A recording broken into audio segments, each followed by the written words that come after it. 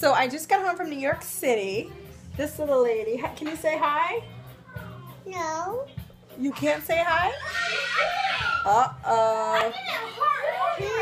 I grabbed him because he grabbed me Welcome right in my